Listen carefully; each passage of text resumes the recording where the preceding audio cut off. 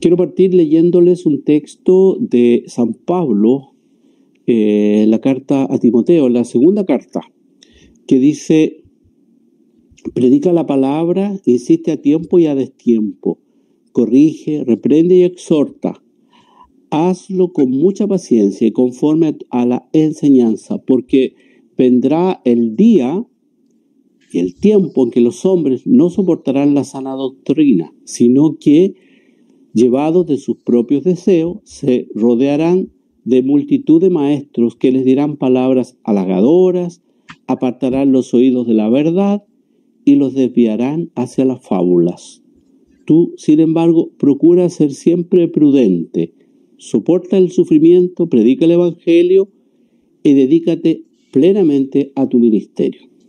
Bueno, a propósito de esto, justamente es que me llegó un aviso de una sexta que está en Santiago, que ofrece un curso que de alguna manera ofende eh, a nosotros los católicos, ¿no? Y ofende también los sacramentales.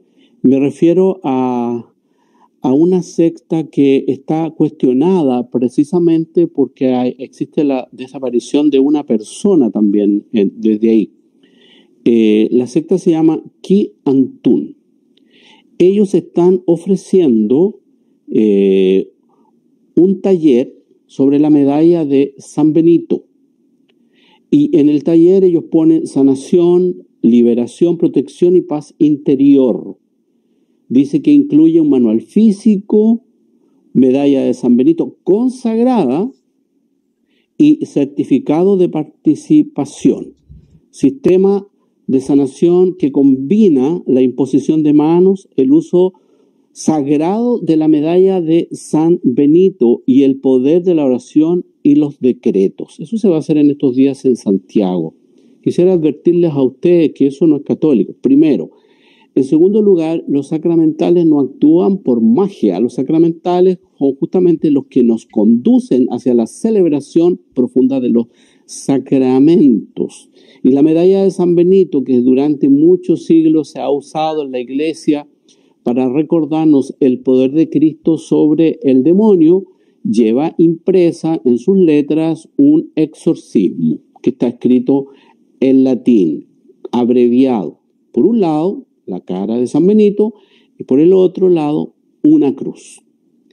Eh, no es un objeto mágico. Hoy día la gente busca eso, busca magia, lamentablemente, ¿no? Y nos faltan los inescrupulosos que aprovechan este tipo de necesidades de personas vulnerables para hacer este tipo de trampas. No se dejen engañar. Y recuerden ustedes lo que dice el libro del Deuteronomio 18 en el Antiguo Testamento. Si alguien no lo conoce, justamente dice, cuando hayas entrado en la tierra que el Señor tu Dios te va a dar, no imites las abominaciones de aquellos pueblos, que nadie entre los tuyos sacrifique en el fuego a su hijo o a su hija que nadie practique la adivinación, la astrología, la hechicería o la magia. Que nadie consulte los astros y que eh, nadie consulte a las ánimas o a los espíritus, ni invoque tampoco a los muertos. Que nace esto es detestable ante el Señor.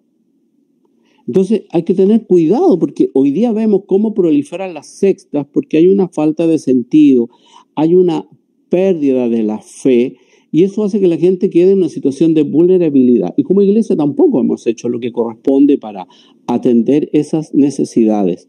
Entonces yo quisiera humildemente advertir a través de este video que tengan cuidado con ese tipo de cosas.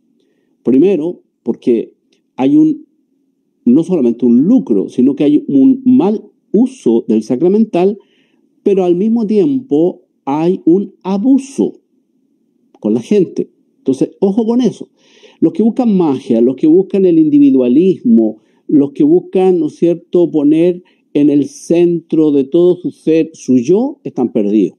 Porque nosotros, los cristianos, eh, no nos comunicamos ni con una energía cósmica, ni, con ninguna criatura, sino con Dios.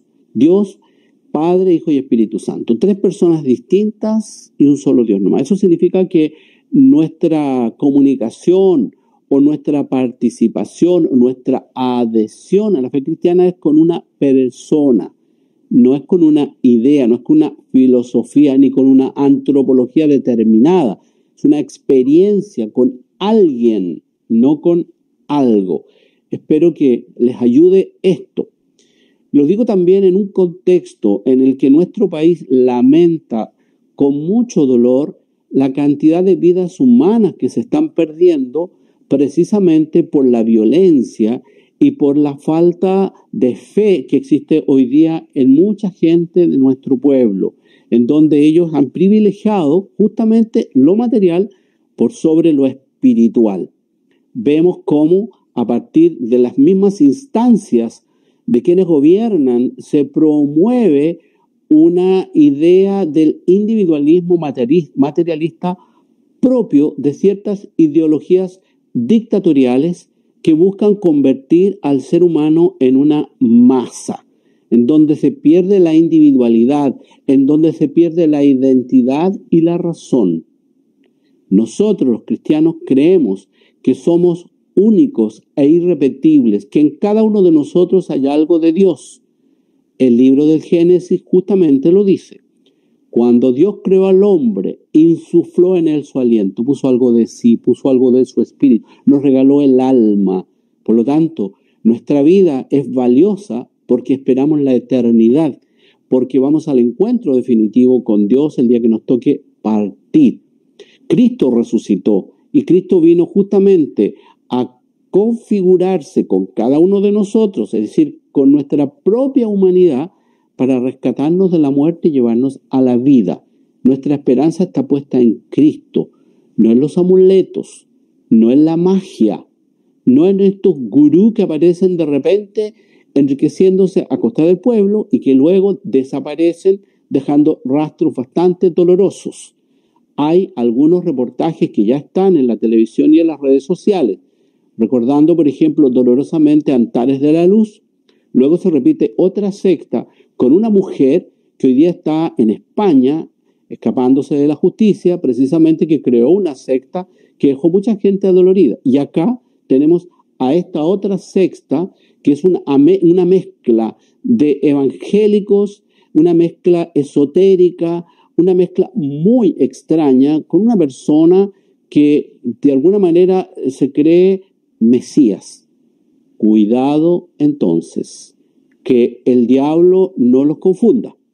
Como dice San Pedro, el diablo anda como león rugiente buscando a quien devorar, resistirle firmes en la fe. Esa debe ser la actitud de un cristiano. Si ustedes quieren asistir a un retiro de sanación, de liberación, tiene que ser un retiro que esté auspiciado por la Iglesia Católica, en donde haya una responsabilidad detrás, en donde haya una organización seria, como se hace en las parroquias, en las diócesis, en las casas de retiro.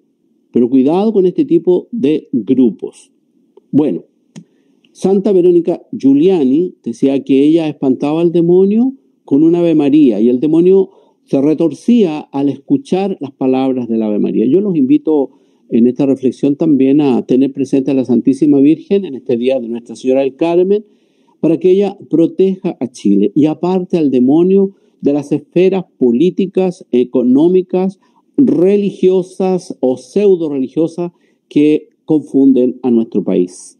Dios te salve María, llena eres de gracia, el Señor es contigo Bendita eres entre todas las mujeres y bendito es el fruto de tu vientre Jesús. Santa María, Madre de Dios, ruega por nosotros los pecadores, ahora y en la hora de nuestra muerte. Amén.